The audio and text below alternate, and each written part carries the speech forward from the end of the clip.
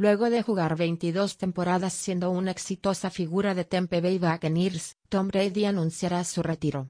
Su labor como jugador de fútbol americano en la NFL incluyó dar múltiples entrevistas ante los medios, pero en 2008 Inés Gómez Montt se encargó de que su intervención como reportera fuera inolvidable para él.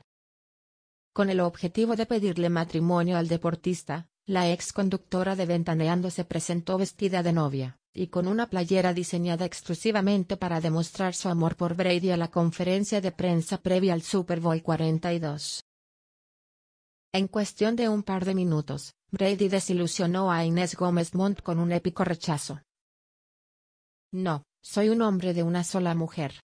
La conversación entre el deportista y la presentadora ocurrió en inglés, pero fue subtitulada al español cuando se transmitió en un noticiero de televisión azteca.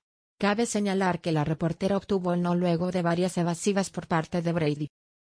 Esta recordada anécdota comenzó porque el atuendo de Gómez Montt despertó el interés de Tom Brady entre la fila de reporteros y decidió cederle la palabra. La mujer con el vestido de novia, dijo el exjugador de New England Patriots. Al notar que había logrado captar la atención de Tom, la corresponsal de Azteca le gritó con entusiasmo, Brady, estoy enamorada de ti.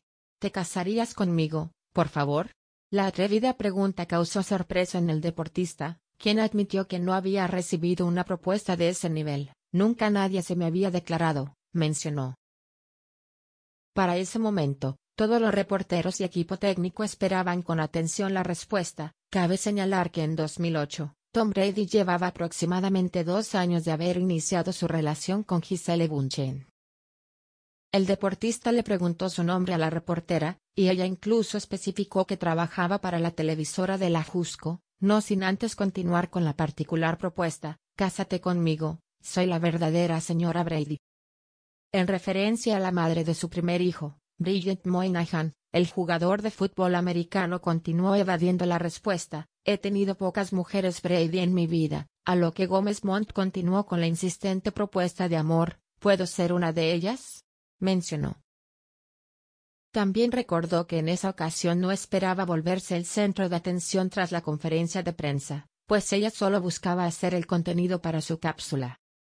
Me empiezan a marcar de deportes, Inés, estás en todos los programas, en los noticieros, ¿qué hiciste?